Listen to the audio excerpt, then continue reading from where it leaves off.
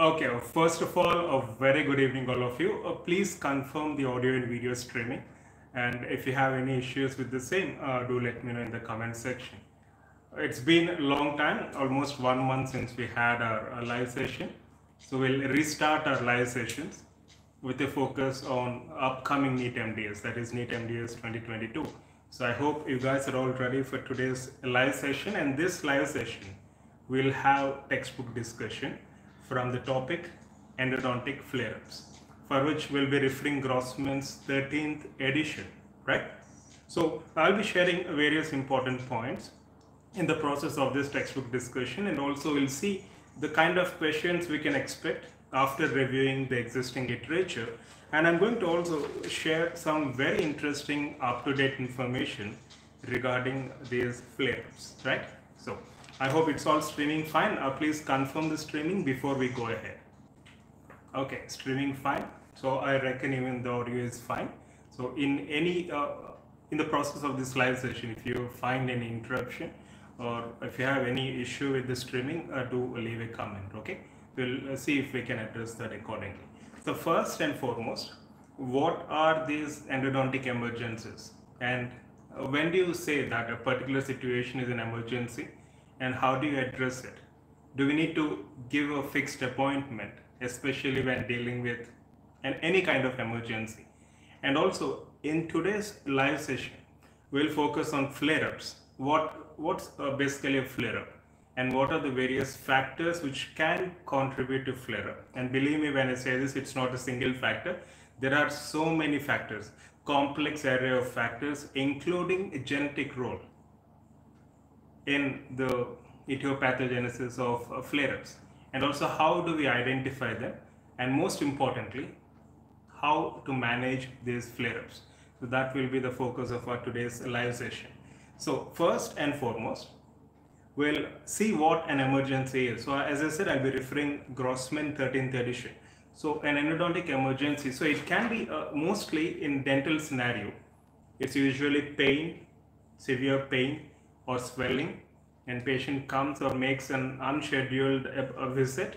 And uh, most importantly as a dentist or as a clinician we, we should provide appropriate treatment to alleviate the patient from those particular symptoms mostly pain and swelling right? Uh, that's what uh, usually constitutes an emergency. So an endodontic emergency is defined as pain and or swelling caused by inflammation or infection of pulp and or periradicular uh, tissues necessitating uh, which requires emergency visit to the dentist for immediate treatment. So once we understand what this endodontic emergency is, so there are different types of emergencies. So endodontic emergency which can happen prior to treatment or during treatment, which is the worst case scenario for the dentist because patient remains asymptomatic but when he or she comes for treatment once we initiate root canal patient jumps out in pain either during the treatment or after uh, between the appointments. And patient assumes that we uh, cause that pain. That's why i said it's a worst case scenario. And also there can be pain after treatment after completion of root canal. So we have a classification which is mentioned in grossman so before treatment, we have endodontic emergencies presenting with either pain or swelling in the form of various pulpitis or even periapical abscess, even phoenix abscess. So cracked tooth syndrome, symptomatic reversible pulpitis, symptomatic irreversible pulpitis, symptomatic apical periodontitis, phoenix abscess, acute alveolar abscess, cellulitis, all of these constitute emergencies before treatment. And also there can be traumatic injuries, fracture of tooth, fracture of crown, fracture of root. And there are emergencies during treatment. One is hot tooth, which we discussed previously. You can find that video even in YouTube. And the other is endodontic flare-up, which we'll focus now. And there can be emergencies even after treatment, which includes root fractures, vertical root fractures, or even post-obturation pain, you think uh, we, we think we've done our treatment perfectly and once obturation is completed patient goes home calls us again complaining that he or she has pain So uh, that, that's something which we don't uh, want to hear. So in such situations, when patient has an emergency, what's the kind of treatment we institute? What's the role of antibiotics? What's the role of analgesics? Which medication should we give? And, in, and also very importantly, what's the, is there any uh, difference like uh, males versus females when you compare? Uh, do you think one particular sex or gender experiences pain to a greater extent than the other? So that's another interesting finding which we'll try to review at the end of this session. But before that, we have seen the classification of endodontic emergencies just now. And also, what's a flare-up? So I, I, I, hope you have your textbooks alongside with you. That's the reason why we posted an update along with the reference book in uh, this afternoon session. So if you don't have any book, at least uh, make note of various important points which we'll be discussing in this process of textbook discussion. So an endodontic flare, it's an acute exacerbation of an asymptomatic pulp or a periapical pathosis after initiation or continuation of root canal treatment. That's why we say this constitutes an emergency emergency during treatment. So the reported incidence of inter-appointment flare-ups uh, is uh, very low, but the range is uh, wider, that is 1.4 to 19%, even though these values vary from each textbook. So Grossman says so, uh, whereas uh, this percentage incidence varies uh, with the information given in Ingle or even Cohen. So let's stick to the information given in Grossman. So the incidence, the reported incidence of inter-appointment flare-ups Inter-appointment flare-ups form a true emergency that requires an unscheduled patient visit and immediate acute treatment for pain relief. So symptomatic uh, relief of pain is very much important. So let's look into the combination of drugs a bit later. So what are various predisposing factors? As I said, it's not a single entity or a single factor which is responsible for flare-up. In fact, there are wide range of complex factors, including genetics, which play a role in uh, these uh, flare-ups. So first and foremost, you, you can see uh, they've provided a table uh, with a list of various factors, significant factors and other factors. As you can see, page number 150. So significant factors include shaping related errors, cleaning errors, pulpoperiapical status and retreatment cases. We need not uh, re remember or mug up all these things, but let's try to understand and see their clinical uh, correlation. So shaping errors include over instrumentation, under instrumentation or incomplete instrumentation, improper shaping technique, all of this which uh, can potentially lead to, you know, uh, sending the material necrotic debris or microbes out of the apex or even under instrumentation which can promote growth of more virulent forms of microbes thus uh, leading to these flare-ups. And also cleaning errors irrigation extrusion hypochlorite accident which we have seen in the form of case reports. Also we'll go through that now including uh, the management part which is very very uh, important and essential to save a patient's life. Pulpoperiapical status retreatment cases. So these are some of the factors which are considered to be a major or significant factors contributing to endodontic flare-ups. And then we have other factors like anxiety, preoperative history of pain. In fact, anxiety, if patient is anticipating pain, he or she will experience pain, which is very interesting. Uh, it seems hypothetical, but it's completely true. When you anticipate something, uh, it's bound to happen, more or less. So first and foremost, shaping errors. So we'll see what's this over instrumentation when you try to, you know, uh, go beyond the apex. When during your chemomechanical preparation, when you're not confining the instrument within the uh, root canal and you by accident or by intention to achieve patency of opening, uh, you just go beyond the canal and there is a greater chance that you're pushing the debris, microbes, dentinal shavings and all beyond the apex, thereby creating an inflammatory response in the periapical area, which can lead to flare-up. So this iatrogenic error or instrumentation results in forcing debris into the periradicular region, resulting in an acute inflammatory response. And pain is one of the uh, components of inflammation, isn't it? And incomplete or under instrumentation is another shaping error, which can contribute to flare-ups. So this may provide pulpal remnants for persistence of microorganisms and in fact, you know, under instrumentation or inadequate preparation can shift the microbial uh, focus towards more resistant forms, thereby promoting or causing flare-ups. And then shaping technique. So again, under instrumentation, improper shaping technique, they all implicate the same. So we're not we're not trying to eliminate microbes as much as possible uh, to the best of our ability, leading to these flare-ups. And when we talk about shaping technique, I mean, uh, they mentioned a comparison between step down and step back and crown down. So among these two techniques, which is more prone for, you know, flare-ups? So this is a clinical uh, based uh, approach or question which you can expect. So a step back shaping technique, where you repeatedly enter into the, you know, the terminal portion of the root canal, there is a greater chance for us to extrude the material beyond the apex. If you remember what step back technique is. So step back shaping technique has a greater tendency to extrude debris into the periradicular region than crown down technique. So in crown down technique, as you move from coronal towards apical portion, you're trying to remove the bulk of uh, the necrotic material, including the infected dentin. So the chance of extruding material you know bad material beyond the apex necrotic material and all beyond the apex is minimal. That's one of the advantages of crown down technique right? So do make a note of this point. And then moving to the next major factor cleaning errors. What if there is inadvertent extrusion of irrigating solution beyond the apex hypochlorite accident you might have heard uh, about uh, one or uh, some of your seniors doing it or you might have seen your batchmates by mistake pumping hypochlorite into soft tissues. So there is that's a possibility. In fact, during our UG, I, have seen uh, one of them. I heard and I've seen one of them injecting a hypochlorite, assuming that it was LA since it uh, since it was loaded in a LA bottle.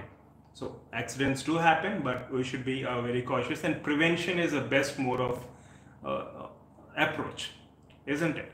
But what if there is inadvertent extrusion of material or uh, solution into soft tissues? How do you manage it? So let's look into that now. So irrigation or irrigant extrusion, the standard regimen of irrigation used routinely is 0.1 to 5.2% of hypochlorite with 17% EDTA in endodontics, every procedure, including irrigation of pulp space, is passive in nature. Inadvertent extrusion of irrigant beyond the periapex, termed sodium hypochlorite accident, may be one of the causes of endodontic flare-up. Right? So, now, uh, what are the various signs of hypochlorite accident?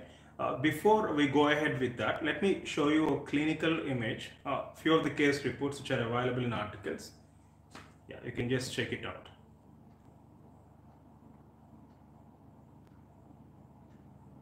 Yeah, you can see. You can see once uh, the hypochlorite enters into soft tissues the range of clinical manifestations which are evident. Complete swelling ballooning of soft tissues as described in literature uh, which you can clearly appreciate in this particular uh, case. Ballooning of soft tissues there can be pain necrosis of soft tissues isn't it? So what are the signs of hypochlorite accident? Let's look into them now so the patient complains of severe and excruciating pain, especially when he or she is not under local anesthesia. Even though if they are under local anesthesia, they complain of irritation of tissues. There is sudden flooding of canal with blood and tissue fluids. There may be ballooning of tissues in the area and swelling of soft tissues. As sodium hypochlorite is hypertonic, it leads once it enters into periradicular tissues, it leads to opening up of capillaries and minute blood vessels. Flooding of the canal with blood happens, which is a physiological reaction to dilute the concentration of sodium hypochlorite. So how do you manage? The patient has to be informed about the accident, the first and foremost thing, informing the patient. And if the patient is not given a local anesthesia, then go ahead with block anesthesia, right, depending upon the area and bleeding from the canal is continuously allowed to flow since this is a defense physiological mechanism. And the canal is flared with normal saline so that the accumulated blood comes out and the level of pain uh, decreases because we're trying to relieve the pressure. And sodium hypochlorite can dissolve both normal and infected tissue. Post sodium hypochlorite accident, the periradicular area remains inflamed and the tissues are necrosed as you've seen some of the images. It's preferred that the patient is immediately placed on parenteral antibiotic therapy, including analgesics. Call the patient for a follow-up periodically to assess the rate of healing. In the event of an uncontrolled flare-up, you can even refer to a general surgeon or a physician for expert opinion and administering steroids in a planned or phased manner. The patient may require backup vitamin therapy during the recovery phase. And it's very important that the kind of or the technique of irrigation which we perform plays a major role. You might have heard of side vent needles. So as you can see, this is a side vent needle with different sizes, 30 gauge, uh, 20 gauge. So we have different size uh, sizes of side vent needles, which should be employed especially when you're going ahead with uh, root canal or intra canal irrigation. So always using passive irrigation not forcing, not engaging the needle within the canal and forcing uh, the irrigant beyond the apex. Sodium hypochlorite should be handled carefully. Even when you are using rubber dam, there can be seepage beneath rubber dam which can lead to various unwanted effects like ulcers, gingival pain, etc. The recommended endodontic irrigation needle is 30 gauge side vent needle. This is something which I wanted to make a note of or underline if you have you know textbooks with you. The recommended endodontic irrigation needle is 30 gauge side vented close-ended needle placed passively 3 mm short of working length in case of posterior teeth 1 mm short of working length in case of anterior teeth. So this is the criteria we have. Uh, consider this very, very important. Okay. And in case of immature teeth with uh, open apices, care should be exercised to ensure that irrigant is not extruded beyond the periapical area because of blunderbuss canal's wide open apex. And to avoid flushing of the canal beyond, do not engage the needle into the dentin. Rather, it has to be passively moving inside the canal. And also, you might have heard of endovac, which is based on negative pressure technique. You can refer a Grossman for more information and consider this very, very important. And coming to the next aspect, pulpo-periapical status. Studies have indicated that teeth with vital pulps result in fewer flare-ups compared with those with necrotic pulps, maybe because of microbial content and all. So similarly, teeth with acute alveolar abscess have a higher incidence of flare-ups. And retreatment cases, since you're going ahead with retreatment, there can be a possibility of extruding material beyond apex, so thereby increasing the incidence of flare-ups, especially in retreatment cases. And there are other factors like anxiety, preoperative history of pain. And it's very interesting to see that if a patient expects pain to occur during endodontic treatment, there is increased likelihood that an increased amount of pain will be pursued following completion of subsequent treatment as we just discussed in the beginning. And you can see the mechanism of flare-up which is mentioned in Grossman. They're calling something as local adaptation syndrome just because there is infection inside the tooth yeah, you can't see the image properly, don't worry. We'll share that uh, in the form of a link or we'll uh, do something to share that image, okay? Yeah, don't worry. So first and foremost thing is, uh, whenever there is any infection in the canal, uh, it doesn't mean that, you know, uh, there will be pain or there will be progression of lesion or there will be progression of infection.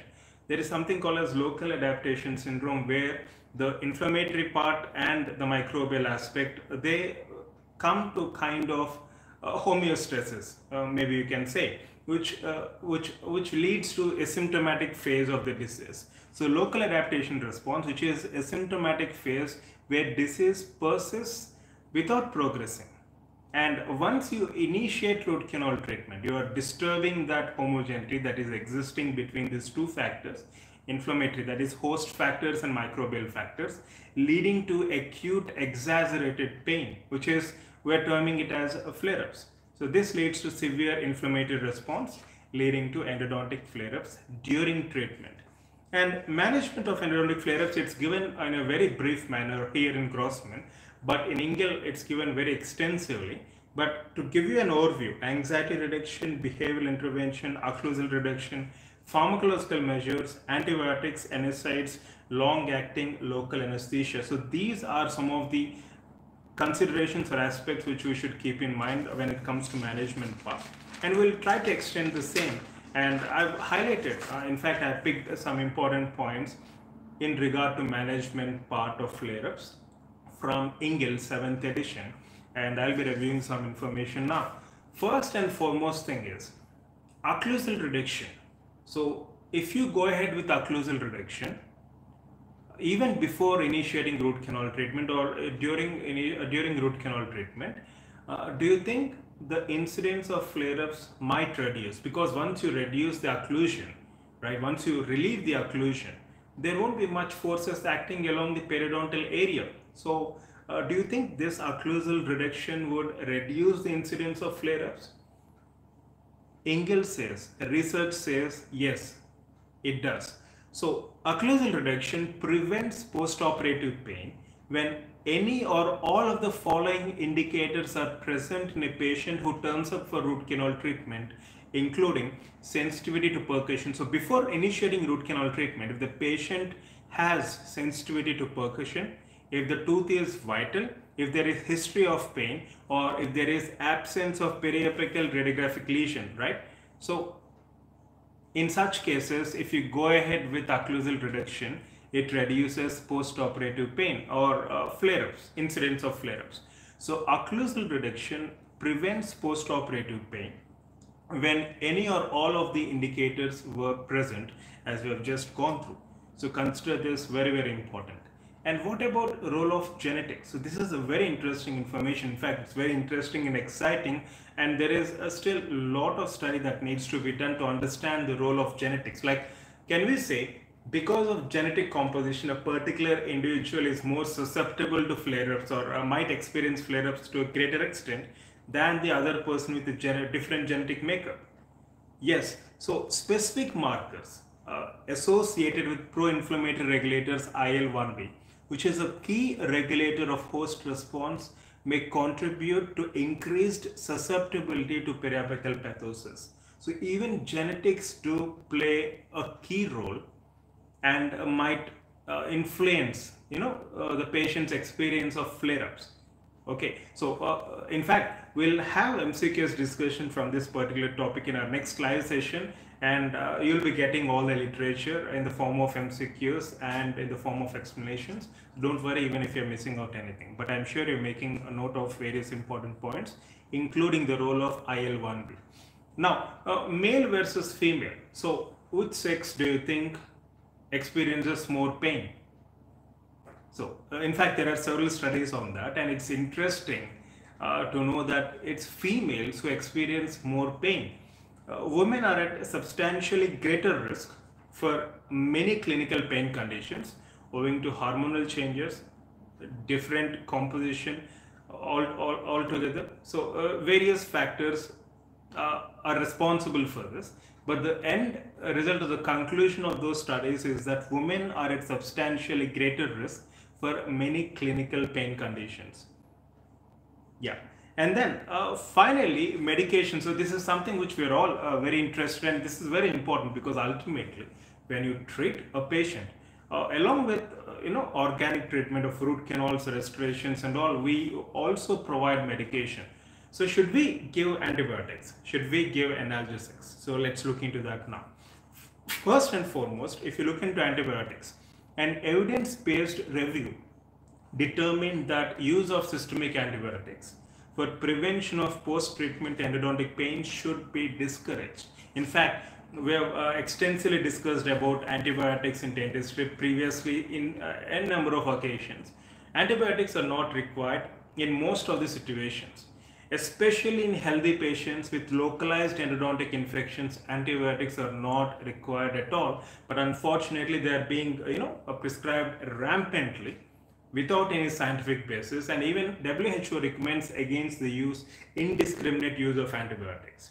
So first and foremost, the conclusion of uh, several studies point out that an evidence-based review determined that use of systemic antibiotics for prevention of post-treatment endodontic pain should be discouraged. So in healthy individuals with localized endodontic infection, antibiotics are not necessary.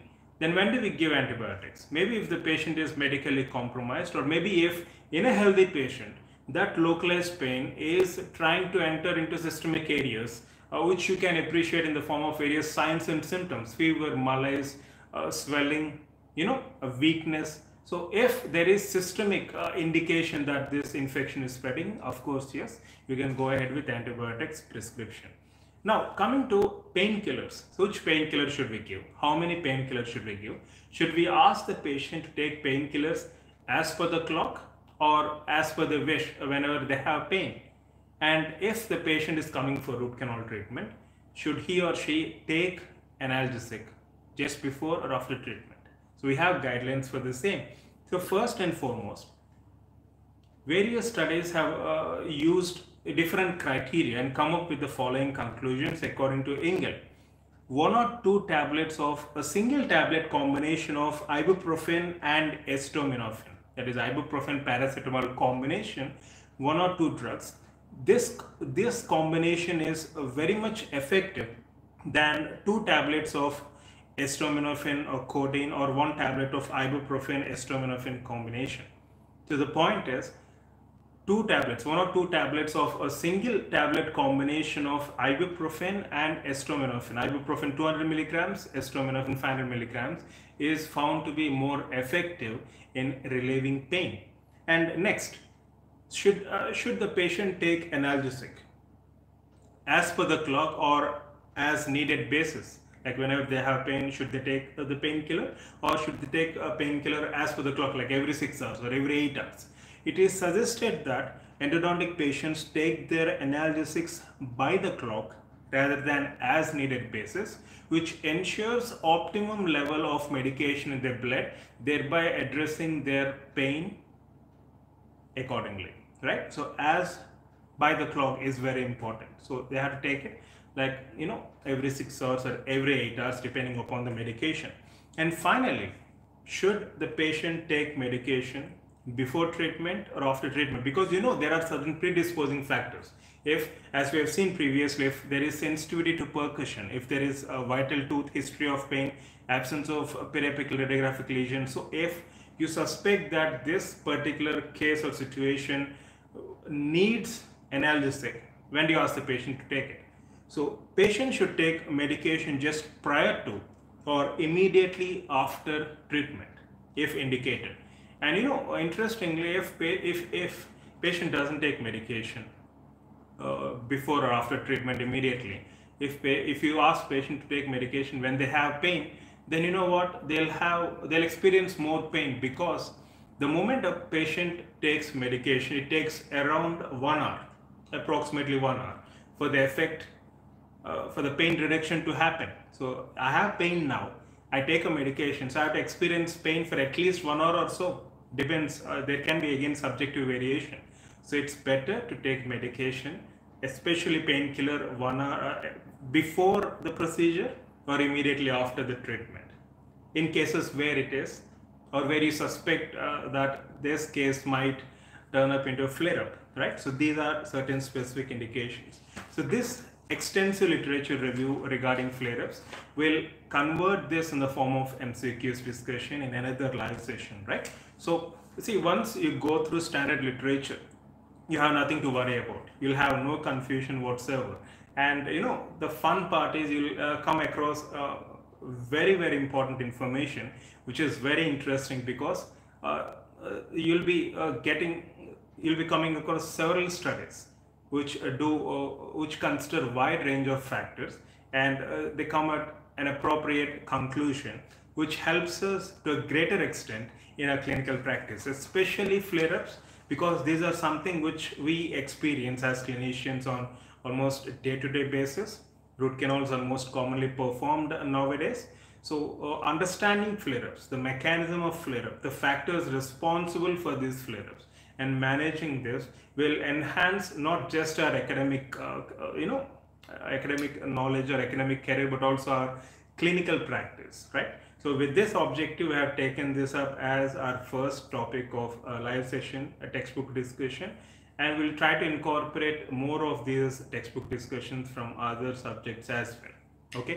And if we plan any live session we'll let you know at least couple of hours prior. Like uh, today we had live session at 7:30 so we informed you by 1 p.m so by noon you will be giving you an update if there is a live session in that particular day. So you can just keep a tab on our youtube channel for updates or you can join our telegram updates group which is for free to everyone right? So you have any queries you need any assistance you can always uh, feel free to get back through mail at proudtobedentist at gmail.com 24 by 7 and also uh, in the next live session we'll have exclusive mcqs case-based discussions image-based discussions from this very topic of endodontic flare-ups for which we'll be referring Grossman, Cohen and Ingle. I'm giving a heads up and once we plan that live session, as I said, we'll inform you a uh, few hours prior and on the, on the very same day.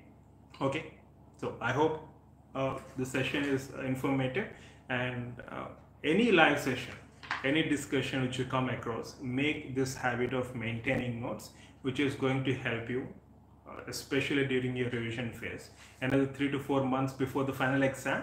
So just focus on giving your best no matter what the situations or challenges are right? So wish you all the best love you all and i'll see you again another live session very soon. Yeah hi hi hrishikesh vasuki. Hi hi pallavi felicio Reister, Nidhi, Soumya, uh, Monica, Pooja. Very good evening to all of you. Uh, you can't see image properly. Yes, uh, we'll see if we can share that uh, in one format or the other. We'll just think about it and uh, we'll update that in uh, this particular video accordingly. Vasukia, sir, should we refer Ingle or Cohen? I would suggest a combination, right? see, for this particular live session, I personally referred Grossman, which is my primary reference. Ingle and Cohen. In fact, there is extensive information available even in Ingle. I would suggest if you have time, if you are in final year, if you are in third year, yes, go ahead, refer these three standard textbooks for uh, endodontics. Okay. Hi Rashmi, a very good evening. Hi Tanya. Procedural errors, definitely. We'll plan one textbook discussion on procedural errors as well. Sure. You're welcome, Smith okay guys. So uh, have a happy weekend and take care. Good night